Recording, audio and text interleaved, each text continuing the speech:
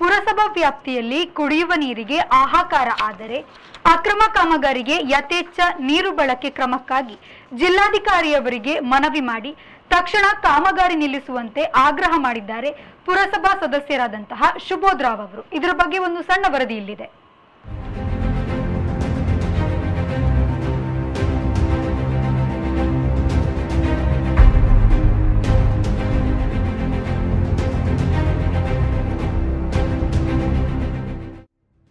ಕಾರ್ಕಳ ಪುರಸಭೆಯ ಎಲ್ಲಾ ವಾರ್ಡ್ಗಳಲ್ಲಿ ನೀರಿನ ಸಮಸ್ಯೆ ಉಂಟಾಗಿದ್ದು, ಇದರಿಂದಾಗಿ ಸಾರ್ವಜನಿಕರು ಅನೇಕ ಸಮಸ್ಯೆಗಳನ್ನು ಎದುರಿಸುತ್ತಿದ್ದಾರೆ. ಕೆಲವು ವಾರ್ಡ್ಗಳಲ್ಲಿ ದಿನಬಳಕೆ ಹಾಗೂ ಕುಡಿಯುವ ನೀರಿಗೂ ಕೊರತೆ ಉಂಟಾಗಿದೆ. ಇಂತಹ ಸಂದರ್ಭದಲ್ಲಿ ಬೇರೆ ಯಾವುದೋ ಜಿಲ್ಲೆಯ ಕಾಮಗಾರಿಯನ್ನು ವಹಿಸಿಕೊಂಡ ಗುತ್ತಿಗೆದಾರ ರಾಮಸಮುದ್ರಕ್ಕೆ ಅಕ್ರಮವಾಗಿ ಪಂಪ್ ಅಳವಡಿಸಿ ತನ್ನ ಕಾಮಗಾರಿಗಳಿಗೆ ಯಥೇಚ್ಛವಾಗಿ ನೀರು ಬಳಸುತ್ತಿದ್ದು ಅದನ್ನು ತಕ್ಷಣ ನಿಲ್ಲಿಸುವಂತೆ ಮತ್ತು ಈ ಬಗ್ಗೆ ಕ್ರಮ ಜರುಗಿಸುವಂತೆ ಜಿಲ್ಲಾಧಿಕಾರಿಯವರನ್ನು ಪುರಸಭಾ ಸದಸ್ಯ ಶುಭದ ರಾವ್ ಆಗ್ರಹಿಸಿದ್ದಾರೆ. ಕಾರ್ಕಳ ಪುರಸಭೆ ವ್ಯಾಪ್ತಿಯ ರಾಮಸಮುದ್ರದ ಬಳಿ ಇದ್ದೇನೆ. ಇಲ್ಲಿ ಕಾರ್ಕಳ ಪುರಸಭೆ ವ್ಯಾಪ್ತಿಯಲ್ಲಿ ನೀರಿಗೆ ತುಂಬ ಆಹಾಕಾರ ಇದೆ. ಅನೇಕ ಸಂಘ ಸಂಸ್ಥೆಗಳು ಟ್ಯಾಂಕರ್ ಮೂಲಕ ಪುರಸಭಾ ವ್ಯಾಪ್ತಿಯ ವಾರ್ಡ್ಗಳಿಗೆ ನೀರನ್ನು ಸರಬರಾಜು ಮಾಡುವ ಪ್ರಯತ್ನಗಳನ್ನು ಮಾಡ್ತಾ ಇದ್ದಾರೆ. ಕುಡಿಯುವ ನೀರಿನಕ್ಕೂ ಕೂಡ ಅನೇಕ ಸಮಸ್ಯೆಗಳನ್ನು ಎದುರಿಸ್ತಾ ಇದ್ದೇವೆ ಆದರೆ ಇಲ್ಲಿ ಅನಧಿಕೃತ ಕಾಮಗಾರಿ ಒಂದು ನಡೀತಾ ಇದೆ. ಮೊನ್ನೆ ಇದರ ವಿಡಿಯೋ ಸಹಿತ ಜಿಲ್ಲಾಧಿಕಾರಿಯವರಿಗೆ ಮತ್ತು ಕಾರ್ಕಳ ಪುರಸಭೆಯವರಿಗೆ ನಾನು ಮನವಿ ಮಾಡಿದ್ದೆ. ಆದರೆ ಯಾವುದೇ ಪ್ರಯೋಜನ ಆಗ್ ಆಗಲಿಲ್ಲ. ಕಾರ್ಕಳ ಪುರಸಭೆಯ ರಾಮಸಮುದ್ರದ ನೀರಿನ ಅನಿ ಅನಧಿಕೃತವಾಗಿ ನೀರನ್ನು ಎತ್ತಿ ಈ ಅನಧಿಕೃತ ಕಾಮಗಾರಿಗೆ ಬಳಸಲಾಗ್ತದೆ. ಈ ಕಾಮಗಾರಿ ಪೈಪ್ಲೈನ್ ಇದು ಇಲ್ಲಿಗೆ ಸಂಬಂಧಪಟ್ಟದಲ್ಲ ಇದು ಯಾವುದೋ ಪುತ್ತೂರಿನ ಸುಳ್ಯದ ಕಾಮಗಾರಿಗೆ ಸಂಬಂಧಪಟ್ಟದ್ದು. ಆದರೆ ಈ ಮೇ ತಿಂಗಳಲ್ಲಿ ಇಷ್ಟು ನೀರಿನ ಅಭಾವ ಇರುವಾಗ ಇವರಿಗೆ ತುರಾತುರಿಯಲ್ಲಿ ಕೆಲಸ ಮಾಡುವ ಅನಿವಾರ್ಯತೆ ಏನಿದೆ? ಮಳೆ ಬಂದ ನಂತರ ನೀರು ಎಷ್ಟು ಬೇಕಾದ್ರೂ ಉಪಯೋಗಿಸಲಿ. ಆದರೆ ಈಗ ನೀರಿನ ಸಮಸ್ಯೆ ನಮಗೆ ಇಲ್ಲಿ ಇರುವಾಗ ಈ ಥರ ನೀರು ಉಪಯೋಗಿಸುವುದು ಇದು ತಪ್ಪು. ದಯವಿಟ್ಟು ಜಿಲ್ಲಾಧಿಕಾರಿ ಅವರಿಗೆ ನಾನು ಮತ್ತೆ ಮತ್ತೆ ಮನವಿ ಮಾಡ್ತೇನೆ. ಈ ಕಾಮಗಾರಿಯನ್ನು ತಕ್ಷಣ ನಿಲ್ಲಿಸಿ. ಇಲ್ಲದ್ರೆ ನಾನು ನೂರಾರು ಕಾರ್ಯಕರ್ತರು, ನಾವೆಲ್ಲ ಸಾರ್ವಜನಿಕರು, ಯಾರೆಲ್ಲ ನೀರಿನ ಸಮಸ್ಯೆಯನ್ನು ಎದುರಿಸ್ತಾ ಇದ್ದಾರೆ, ನಾವೆಲ್ಲ ಸಾರ್ವಜನಿಕರು ಬಂದು ಇಲ್ಲಿಗೆ ಮುತ್ತಿಗೆ ಹಾಕ್ತೇವೆ ಅನ್ನುವಂಥ ಎಚ್ಚರಿಕೆ ಮಾತನ್ನು ಈ ಸಂದರ್ಭದಲ್ಲಿ ಹೇಳಿಕ್ ಬಯಸ್ತೇನೆ. ಈ ಅಕ್ರಮ ಕಾಮಗಾರಿಯ ಬಗ್ಗೆ ಜಲಮಂಡಳಿಯ ಅಧಿಕಾರಿಗಳು ಹಾಗೂ ಪುರಸಭೆಯ ಮುಖ್ಯಾಧಿಕಾರಿಗಳಲ್ಲಿ ಸಾರ್ವಜನಿಕರು ಎಷ್ಟೇ ದೂರು ಸಲ್ಲಿಸಿದರೂ ಅವರ ನಿರ್ಲಕ್ಷ್ಯ ಮತ್ತು ಮೌನ ಅನೇಕ ಸಂಶಯಗಳಿಗೆ ಅವಕಾಶ ಮಾಡಿಕೊಟ್ಟಿದೆ. ಪುರಸಭಾ ವ್ಯಾಪ್ತಿಯ ನೀರಿನ ಸಮಸ್ಯೆಯ ಗಂಭೀರತೆಯ ಬಗ್ಗೆ ಸಂಪೂರ್ಣ ಮಾಹಿತಿ ಇದ್ದರೂ ಅಕ್ರಮ ಕಾಮಗಾರಿ ನಡೆಸಲು ಅವಕಾಶ ಮಾಡಿಕೊಟ್ಟ ಅಧಿಕಾರಿಗಳ ವಿರುದ್ಧವೂ ಕಠಿಣ ಕ್ರಮ ಜರುಗಿಸಬೇಕಾಗಿ ಮನವಿಯಲ್ಲಿ ಆಗ್ರಹಿಸಿದ್ದಾರೆ. Khaleel, V news Karkala.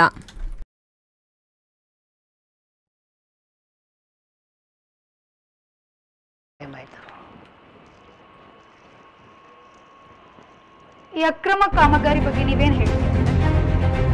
ಅಕ್ರಮ ಕಾಮಗಾರಿ ಯಾವುದನ್ನೋದೇ ಸ್ಪಷ್ಟ ಇಲ್ಲ. ಅವ್ರು ಅಕ್ರಮ ಕಾಮಗಾರಿ ಅಂತ ಹೇಳ್ತಾ ಇದ್ದಾರೆ ಹೊರತು ಅದು ಅಕ್ರಮ ಕಾಮಗಾರಿ ಆದರೆ ಅದನ್ನು ಅಲ್ಲಿಯ ಪುರಸಭೆ ಅದಕ್ಕೆ ಅನುಮತಿ ಕೊಟ್ಟಿದೆಯೇ? ಅದರ ಯೋಜನೆಗಳೆಲ್ಲ ಅನುಮತಿ ಪಡೆದಿವೆ ಎಂಜಿನಿಯರ್ಗಳ ಅನುಮತಿ ಪಡೆದಿದೆ. ಅದು ಯಾವುದಿಲ್ಲ ಅಕ್ರಮ ಕಾಮಗಾರಿ ಅನ್ನುವಂಥ ಅಷ್ಟೇ ಅವರ ಸುದ್ದಿಗಳಲ್ಲಿ ಹೇಳಿರುವಂಥದ್ದು. ಅಕ್ರಮ ಕಾಮಗಾರಿ ಏನು? ಅಥವಾ ಯಾವ ರೀತಿಯದು ಸರಕಾರದ್ದೇ ಖಾಸಗಿಯದೇ ಪುರಸಭೆ ಏನು ಮಾಡ್ತಾ ಇದೆ ಅಲ್ಲಿಯ ಶಾಸಕರು ಏನು ಮಾಡ್ತಾ ಇದ್ದಾರೆ ಅಕ್ರಮ ಅಂತ ಹೇಳಿದರೆ ಇವರೆಲ್ಲ ಅದ್ರ ವಿರುದ್ಧ ಕೆಲಸ ಮಾಡಬೇಕಲ್ಲ. ಆ ಏನು ಅಂತ ಅಕ್ರಮನೇ ಇಲ್ಲ.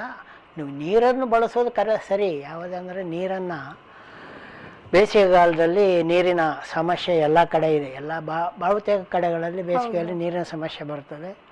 ಹಾಗಾಗಿ ಕಾರ್ಕಳ ನಗರ ಕೂಡ ನೀರಿನ ಸಮಸ್ಯೆಗಳನ್ನು ಎದುರಿಸ್ತಾ ಇದೆ.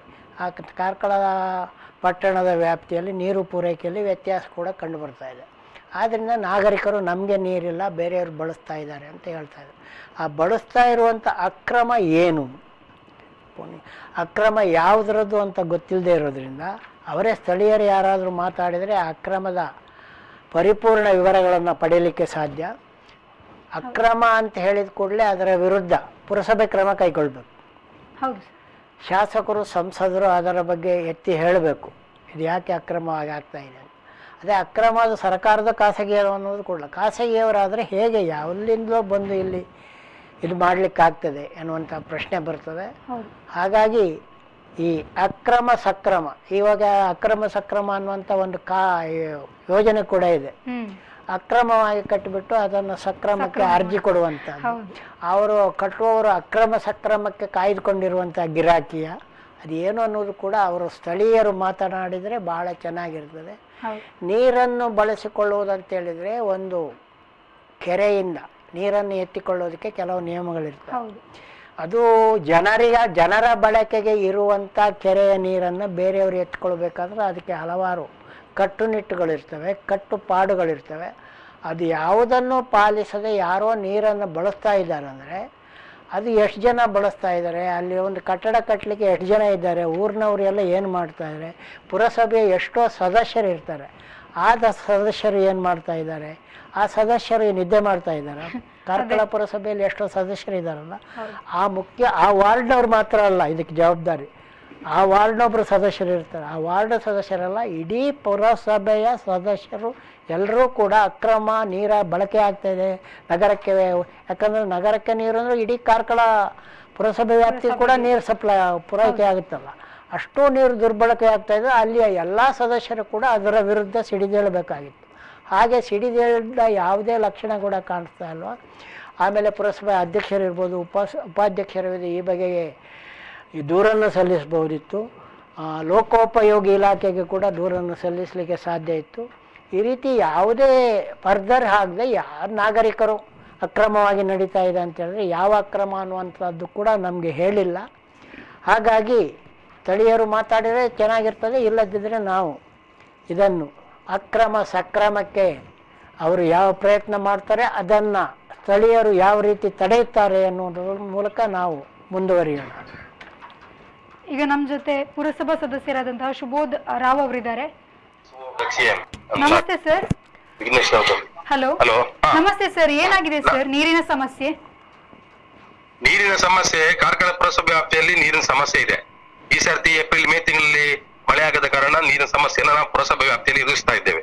ಇಲ್ಲಿ ಕೆಲವು ಸಂಘ ಸಂಸ್ಥೆಗಳು ಟ್ಯಾಂಕರ್ ಮೂಲಕ ನೀರನ್ನು ಕೊಡ್ಲಿಕ್ಕೆ ಪ್ರಯತ್ನ ಮಾಡ್ತಾ ಇದ್ದೇವೆ. ಅದು ಮೆಚ್ಚುವಂತ ಕೆಲಸ. ಅದರ ಮಧ್ಯದಲ್ಲಿ ಒಬ್ಬ ಕಾಮಗಾರಿ ಮಾಡುವವರು ರಾಮಸಮುದ್ರದಿಂದ ಅನಧಿಕೃತವಾಗಿ ಪೈಪ್ಲೈನ್ ಮೂಲಕ ನೀರನ್ನ ತಕೊಂಡು ಕಾಮಗಾರಿ ಮಾಡ್ತಾ ಇದ್ದಾರೆ. ಅವರು ಇಲ್ಲಿಯ ಕೆಲಸ ಮಾಡುದಲ್ಲ ಅವರು. ಯಾವುದೋ ನಮ್ಮ ಡಿಸ್ಟಿಕ್ ಇಂದ ಹೊರಗಿನ ಡಿಸ್ಟಿಕ್ ಕೆಲಸ ವಹಿಸಿಕೊಂಡವರು ಅವರಿಗೆ ಕಾರ್ಕಳದಲ್ಲಿಯೂ ಕೂಡ ಕೆಲಸ ಸಿಕ್ಕಿದೆ. ಅಲ್ಲಿಯ ಕೆಲಸ ಇಲ್ಲಿಯ ನೀರನ್ನು ಉಪಯೋಗಿಸಿಕೊಂಡು ಅಂದ್ರೆ ರಾಮ ಸಮುದ್ರಕ್ಕೆ ಅನಧಿಕೃತವಾಗಿ ಪಂಪ್ ಅನ್ನು ಅಳವಡಿಸಿ ನೀರನ್ನು ತೆಗೆದು ಕಾಮಗಾರಿಯನ್ನ ಮಾಡ್ತಾ ಇದ್ದಾರೆ.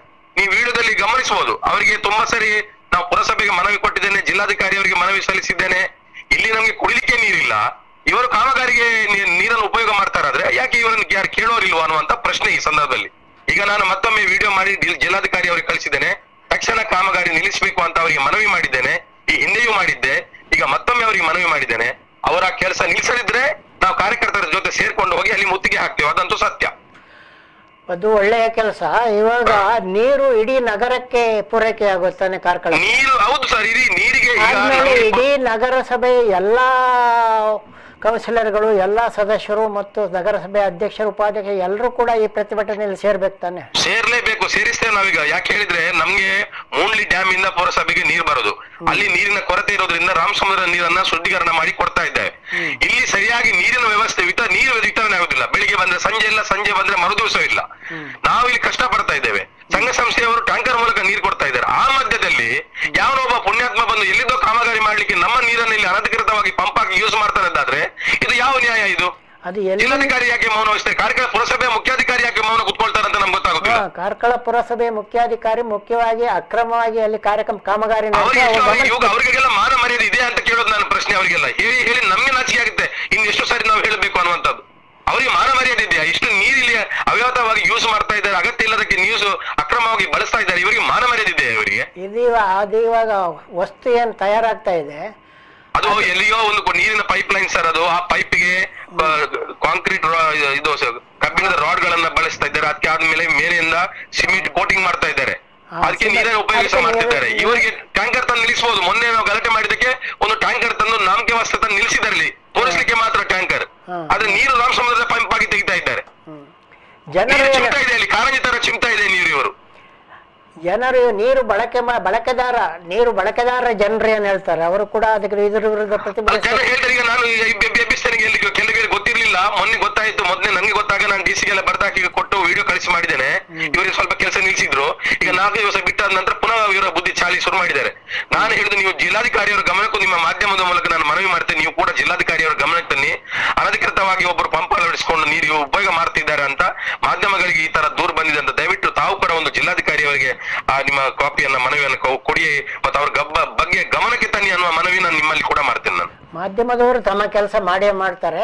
ಈ ಕೂಡ ದಯವಿಟ್ಟು ಈ ವಿಚಾರವನ್ನ ಜಿಲ್ಲಾಧಿಕಾರಿಯವರ ಗಮನಕ್ಕೆ ತರಬೇಕು ಅಂತ ನಿಮ್ಮಲ್ಲಿ ನಾನು ಮನವಿ ಮಾಡ್ತೇನೆ.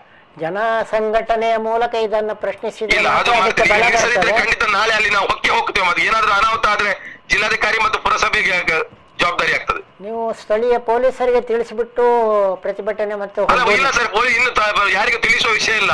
ಇವರು ಸರಿ ಮಾಡೋದಾದ್ರೆ ಮಾಡಿ ಇಲ್ಲ ನಾವು ಹೊಕ್ಕೆ ಹೋಗ್ತೇವೆ. ಏನಾದ್ರೂ ಅನಾಹುತ ಆದ್ರೆ ಜಿಲ್ಲಾಧಿಕಾರಿಯೇ ಜವಾಬ್ದಾರಿ ಮತ್ತೆ. ಜಿಲ್ಲಾಧಿಕಾರಿ ಪುರಸಭೆ ಜವಾಬ್ದಾರಿ. ಯಾಕಂದ್ರೆ ನಮ್ಗೆ ಹೇಳಿ ಹೇಳಿ ಸಾಕಾಯ್ತು ನಮ್ಗೆ. ಇಲ್ಲಿ ಕುಡಿಲಿಕ್ಕೆ ನೀರಿಲ್ಲ ಇವರು ಬೇಕಾಬಿಟ್ಟಿಯಾಗಿ ಕಾಮಗಾರಿಗೆ ನೀರು ಯೂಸ್ ಮಾಡ್ತಾರೆ ಯಾರು ಕೇಳೋ ಗತಿ ಇಲ್ವಾ ಇಲ್ಲಿ? ಪ್ರತಿಭಟನೆಯನ್ನ ನೀವು ಮುಂದುವರಿಸಿ ಇವತ್ತು ಇವತ್ತು ಜಿಲ್ಲಾಧಿಕಾರಿ ಅದಕ್ಕೆ ವಿಡಿಯೋ ಪುನಃ ಕಳಿಸಿದ್ದೇವೆ. ಆ ಏನ್ ರೆಸ್ಪಾನ್ಸ್ ಬರ್ತೇನೆ ನೋಡ್ತೇನೆ ಮತ್ತೆ ನಿಮ್ಗೆ ನಾನು ಮಾಹಿತಿ ಕೊಡ್ತೇನೆ. ನಿಮ್ಮ ಪ್ರಯತ್ನಕ್ಕೆ ಮತ್ತು ತಮ್ಮ ಹೋರಾಟಕ್ಕೆ ಜಯವಾಗಲಿ. ಎಲ್ರಿಗೂ ಕೂಡ ಬೇಸಿಗೆಯಲ್ಲಿ ಸರಿಯಾದ ರೀತಿಯಲ್ಲಿ ನೀರು ಸಿಗಲಿ ಅಂತ ನಾನು ಹೇಳ್ತಾ ತಮ್ಮ ಧನ್ಯವಾದವನ್ನು ಹೇಳ್ತಾ ಇದ್ದೇನೆ. ವಂದನೆಗಳು thank you sir thank you ಜಿಲ್ಲಾಡಳಿತ ಕೂಡ ಈ ಬಗ್ಗೆ ಎಚ್ಚೆತ್ತುಕೊಂಡು ಇಂಥ ಒಂದು ಜಿಲ್ಲಾ ಜಿಲ್ಲಾಧಿಕಾರಿಗೆ ಅವರು ಕಳಿಸಿದಾರಂತೆ. ಈಗಿನ ಜಿಲ್ಲಾಧಿಕಾರಿ ಇರುವಂಥ ಮುಲ್ಲೈ ಮುಗಿಲನವರು ಕೂಡ ಇಂಥ ವಿಷಯಗಳೇ ಸಾಕಷ್ಟು ಆಸಕ್ತಿ ವಹಿಸ್ತಾರೆ. ಆದರೆ ಜಿಲ್ಲಾಧಿಕಾರಿ ಕಚೇರಿಯಲ್ಲಿ ಕೂಡ ಸಾಕಷ್ಟು ಕಡತಗಳು ಕೆಲವೊಮ್ಮೆ ಜಿಲ್ಲಾಧಿಕಾರಿಗಳನ್ನು ಸಮಯದಲ್ಲಿ ಮುಟ್ಟುವುದಿಲ್ಲ. ಅಲ್ಲಿ ಕೂಡ ಎಡಿಷನಲ್ ಜಿಲ್ಲಾಧಿಕಾರಿ ಹೆಚ್ಚುವರಿ ಹೆಚ್ಚುವರಿ ಜಿಲ್ಲಾಧಿಕಾರಿಗಳು ಇರ್ತಾರೆ. ಅದೇ ರೀತಿ ಅಸಿಸ್ಟೆಂಟ್ ಜಿಲ್ಲಾಧಿಕಾರಿ ಉಪ ಜಿಲ್ಲಾಧಿಕಾರಿ ಅಂತ ಇರ್ತಾರೆ. ಕೆಲವೊಮ್ಮೆ ಆ ಮಟ್ಟದಲ್ಲಿ ಅದನ್ನು ನೋಡಿ ಪೂರೈಸಲು ನೋಡುವವರು ಕೂಡ ಇರ್ತಾರೆ. ಆದರೆ ಜಿಲ್ಲಾಧಿಕಾರಿಯೇ ಇದನ್ನು ಒಂದು ಜನಪ ಜನರಿಗೆ ತೊಂದರೆ ಆಗಿರುವಂಥ ಸಮಸ್ಯೆ ಆದ್ದರಿಂದ ಜಿಲ್ಲಾಧಿಕಾರಿಗಳೇ ಆಸಕ್ತಿ ವಹಿಸಿ ಇದನ್ನು ನಿರ್ವಹಿಸಿ ಕಾರ್ಕಳದ ಜನರ ನೀರಿನ ಬವಣೆ ತೀರುವಂತಾಗಲಿ ಅಂತ ನಾವು ಬಯಸುತ್ತಾ